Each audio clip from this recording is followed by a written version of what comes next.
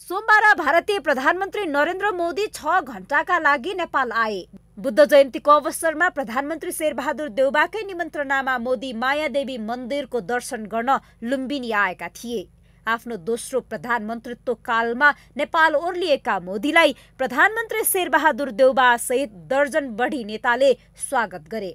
दुई मुलुकबीच उच्चस्तरीय छोटो भ्रमण भए पनि मोदीले प्रधानमन्त्री शेरबहादुर देउबासँग द्विपक्षीय भेटवार्ता मात्र गरेनन्। जलविद्युत शैक्षिक लगायतका विभिन्न छवटा समझदारी र सम्झौता पनि भयो।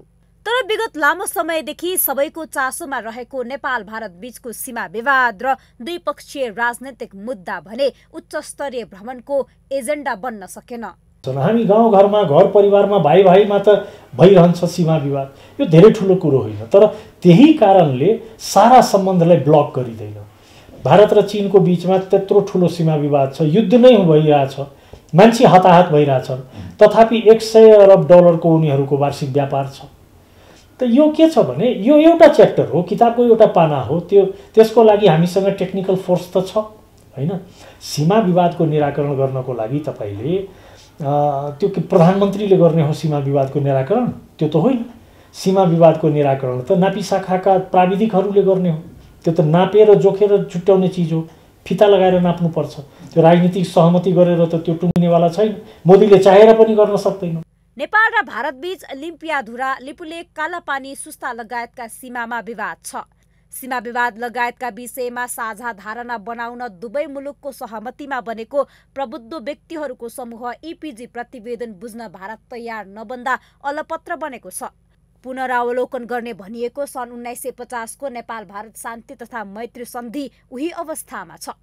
तर यी संवेदनशील र जनचासोका विषयमा नेपाली नेतृत्वले कुटनैतिक पहल गर्ने आँट गर्न नसक्दा भारतको बल मिचाइ बढ्दो छ। यता भारत भने सीमा विवाद प्रति बेखबर झैँ बनेर राजनैतिक तथा धार्मिक कूटनीतिलाई विस्तार गर्ने दाउमा छ।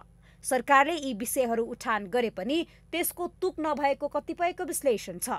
अहिले लामो समय सम्वादहीन बनेको सम्बन्ध चलायमान हुनु महत्त्वपूर्ण रहेको तर्क गर्दै आगामी जनमत प्राप्त सरकारले यो विषयहरू उठानको बाटो खुल्ने जानकारहरू बताउँछन्। सीमाको पनि बारेमा अलिकति कठोर निर्णय गर्नुपर्ने अवस्था वर्तमान सरकारले सक्दैन गर्न पनि हुँदैन। त्यो विवादमा नआउनका लागि शेरबहादुरजीले आफू जाँदाखेरि पनि अहिले पनि उहाँ अलिकति त्यसबाट स्केपै हुनुभयो। त्यो राम्रो पक्ष पनि हो राजनैतिक रूपले।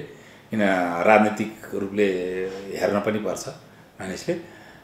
राजनीतिक नेताहरूले अब आउने निर्वाचित सरकार जो हुन्छ त्यसले पुरा पब्लिक मेन्डेट लिएर जुन आउँछ त्यस पछाडि एउटा यसले चाहिँ राम्रो दिशामा नेपाल भारत सम्बन्धलाई अगाडि लिएर जान सक्छ भन्ने मैले अपेक्षा लिएको छु।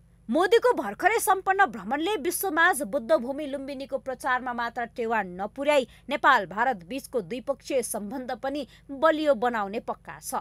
सीमा विवाद असमान सन्धि सीमा क्षेत्रमा भारतीय सुरक्षा कर्मीहरूको दबदबा व्यापार घाटा जस्ता विविध समस्याका कारण नयाँ दिल्ली र काठमाडौँ बीचको कूटनैतिक सम्बन्ध समय समयमा सङ्कटमा धकेलिँदै आएको छ।